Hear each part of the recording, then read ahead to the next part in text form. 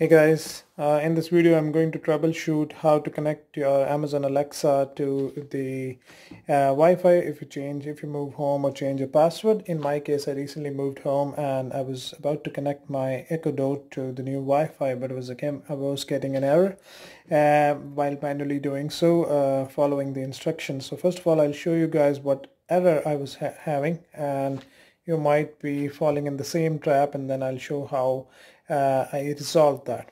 So I put my Alexa into the setup mode by clicking on the action button and as you'll see that an orange light on the ring will start to flip. Now in setup mode. So while I was following the instructions uh, from the Alexa app to manually connect uh, the Echo Dot to uh, the Wi-Fi by the Wi-Fi created by Echo Dot itself, I was constantly stuck on this page, manually connect to the Echo Dot and it wasn't moving ahead even though my device was connected to the uh, Echo Dot. So uh, I tried to troubleshoot, look into the Amazon help pages, nothing helped. And then I found a very uh, helpful article on Reddit which explained me what the problem is. So normally when this type of a situation occurs, uh, it is your internet settings on your mobile. Uh, so if you have connected to uh, to the to the Wi-Fi created by Echo Dot you need to switch off your uh, mobile uh, network uh, or the mobile data because your your mobile is while connected to an Echo Dot Wi-Fi also tries to connect to the internet because the Wi-Fi created by Alexa Echo Dot is a virtual Wi-Fi with no internet connection.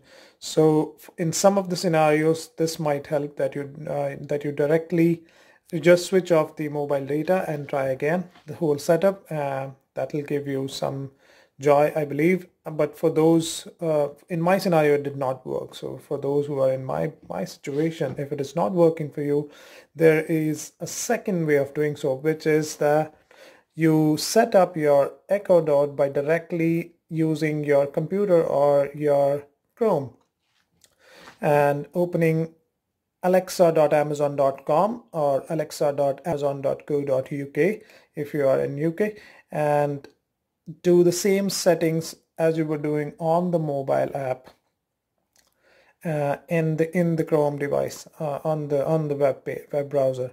So I tried that and while I was doing that it seamlessly connected to the Wi-Fi. It asked me for the new wi Wi-Fi and I put the password there. So I'll quickly show that to you now. So as you can see guys I directly logged on to amazon dot um, alexa.amazon.co.uk and I just uh, on my Chromecast mentioned that I need a desktop site and make sure you do that. Uh, it has to be a desktop site and not the mobile site if you want to connect directly. So when I did that as you can see uh, on my connected device now I have my Echo Dot connected to my my wireless network. So that's that was really handy and it worked really well for me. So after I did that let's see if the internet connection worked. Alexa are you connected to the internet? I am connected to the internet. So there you go guys. So that was a successful thing for me. Hope uh, it comes handy for you if you are doing if you're on the same boat and uh, struggling to connect uh, just like I was. Thank you very much. Cheers.